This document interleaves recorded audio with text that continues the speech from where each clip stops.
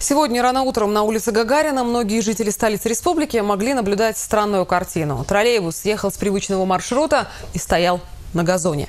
Фотографии в редакцию прислали очевидцы. О том, что произошло с троллейбусом, нам по телефону рассказал заместитель директора по эксплуатации троллейбусного управления Анатолий Алексеев.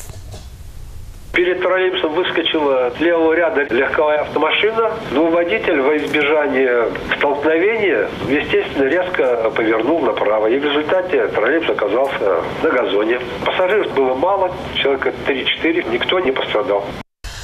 Если вы тоже стали свидетелями необычного события, присылайте свои фото и видео. Они появятся в нашем эфире в рубрике «Мобильный репортер» с указанием фамилии автора.